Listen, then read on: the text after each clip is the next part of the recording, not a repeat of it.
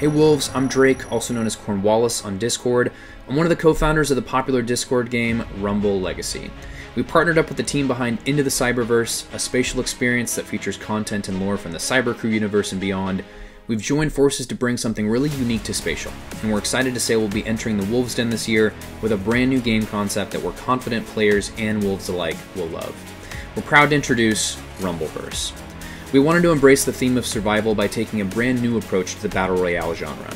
In Rumbleverse, players will choose their champion and spawn into the arena, a grid style game board featuring a shrinking play space where anything can happen. Players will have the chance to move their champions across tiles that make up the game grid, with pop up battles happening as players cross paths with each other. In addition, players will be able to activate special tiles, such as world events, that change the course of gameplay if landed on, such as a firestorm or earthquake.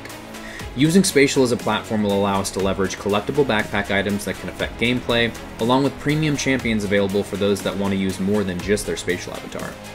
If development time allows, we'd like to implement a voting system for players that would add a layer of social interaction to the game, letting players anonymously vote between a set of choices that alter gameplay between rounds, or even eliminating players that end up in the minority vote.